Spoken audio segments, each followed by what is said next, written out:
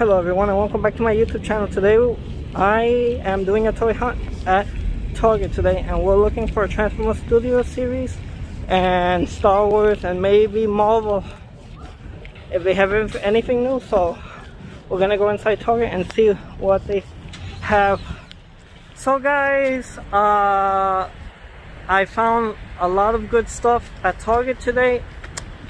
I'll show you guys when I get home it's going to be a great haul. So this is what I found at Target today. I got myself another Buzzworthy Studio Series Bumblebee 15. I got myself World War II Bumblebee. I got 86 Jazz and 86 Kup.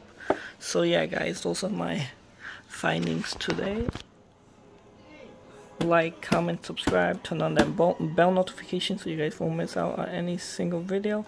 And I'll see you guys for the next toy review.